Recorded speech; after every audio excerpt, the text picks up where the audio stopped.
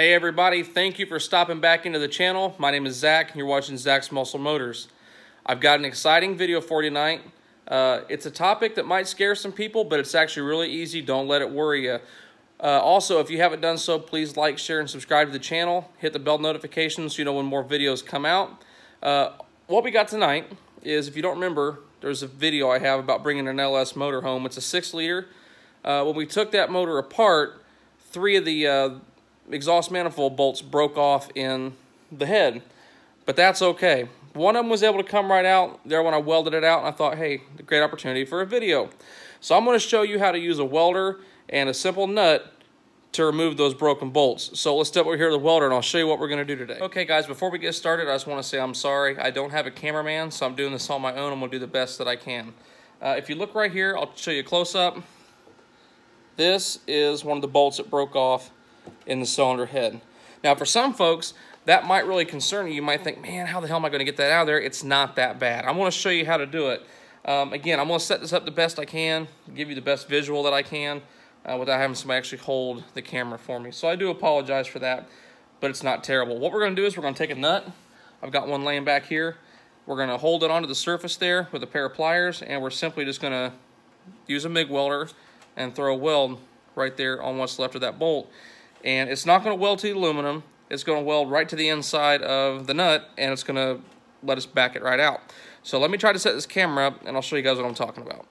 All right, guys, I'm going to show you in real time just how easy this is. Again, if this is outside the vehicle, it's really easy. It's a piece of cake. Don't let it worry you. If it's still inside the vehicle, it can be done. It can be a little bit harder. Space is a little more cramped, but in most cases, it can still be done. Um, there's only a couple things you're going to need. A used nut you don't care about. Pair of pliers of some kind. These are my MIG pliers. They work just fine. A brush uh, if you want to clean up the um, what's left of the stud in there or the bolt in this case uh, just get a good clean welding surface. Uh, and if you don't have any anti-slag to spray on here, uh, sometimes you might need a little straight head screwdriver to kind of knock some of those pieces of slag off if they get stuck.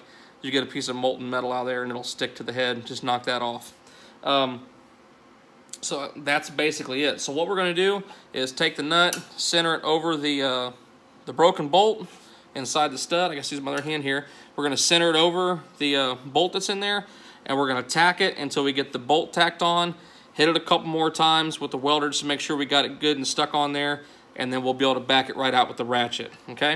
So let me show you. First thing, put your ground clamp on your head. Doesn't really matter where, it'll get it, but the closer the better. Um, I'm not sure how well this is going to pick up on camera because I've not welded with this, uh, this setup before with this camera, so we'll do the best we can. We're gonna use our pliers to hold the nut, and then I'm gonna tack it in there.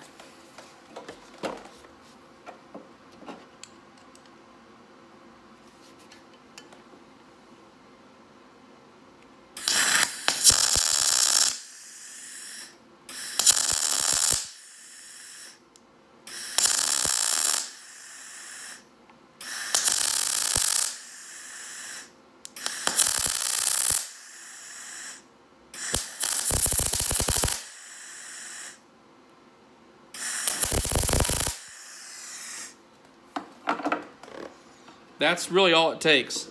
So again, I don't know how that showed up. I guess I'll find out here in a minute when I start checking it out. The big thing is, if you noticed, I only hit it for just a moment at a time. The welder's turned up because I want good penetration on the bolt that's down there. Um, but I don't want to heat it up so much that the bolt melts. I'm not really worried about the head. The head's aluminum. is going to displace the heat quickly. Uh, it won't be just a few moments after I pull this out that the head will pretty much be cold to the touch. It's that nut head you don't want to, to deal with and get a hold of. So now you just take your ratchet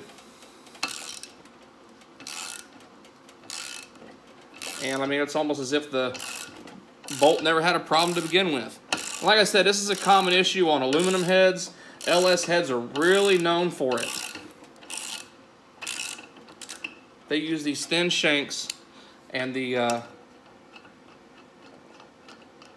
the bolts will just break off when you try to remove them. And that's it, right there.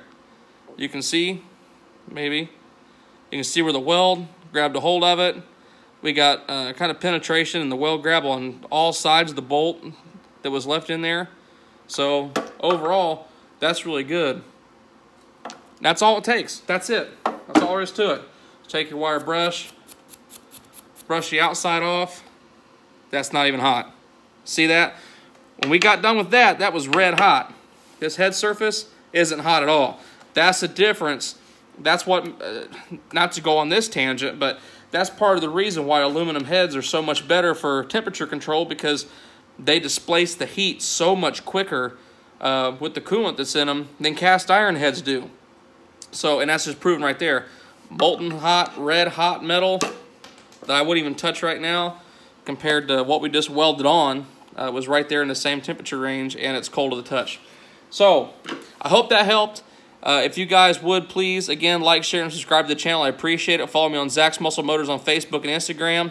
And um, I'm going to turn this video off. And uh, you guys take care. I'll see you on the next one. Thanks.